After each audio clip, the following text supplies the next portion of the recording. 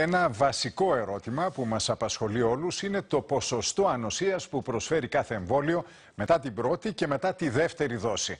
Τις απαντήσεις τις δίνουν τα στοιχεία της Εθνικής Επιτροπής Εμβολιασμών για τα οποία θα μας ενημερώσει τώρα η Κατερίνα Χαραλαμπάκου. Κατερίνα.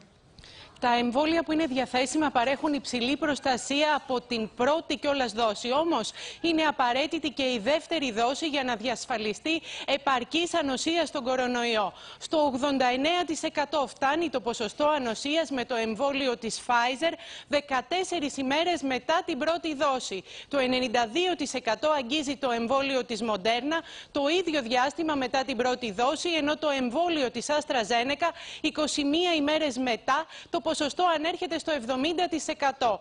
Η προστασία τώρα από το μονοδοσικό εμβόλιο της Johnson Johnson αρχίζει μετά από 14 ημέρες και μετά από 28 ημέρες φτάνει το 85%. 49 ημέρες μετά το εμβόλιο έχει αποδειχθεί ότι αποτρέπει σχεδόν πλήρως τις εισαγωγές στο νοσοκομείο και τον κίνδυνο θανάτου. Όταν ολοκληρωθεί ο εμβολιασμός και με τη δεύτερη δόση το εμβόλιο της Pfizer 7 ημέρες μετά προσφέρει προστασία στο 95,3% της Μοντέρνα μετά από 14 ημέρες 94,1%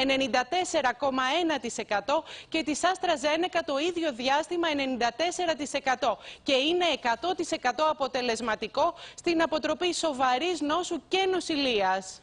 Κατερίνα, δώσε μας και τα στοιχεία για τη διασπορά του κορονοϊού στη χώρα μας το τελευταίο 24ωρο.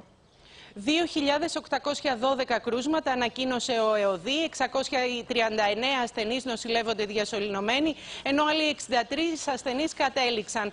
1.425 κρούσματα επιβεβαιώθηκαν στην Αττική, 245 στη Θεσσαλονίκη και 114 στην Ετωλοακαρνανία. Έγιναν πάνω από 70.000 τεστ και η θετικότητα υπολογίζεται στο 3,9%. Να σας πω όμως πως μεγάλη αύξηση καταγράφεται στο οικό φορτίο στα λίματα, στα Χανιά και στο Ηράκλειο της Κρήτης, όμως και στη Θεσσαλονίκη. Να ευχαριστήσουμε την Κατερίνα Χαραλαμπάκου.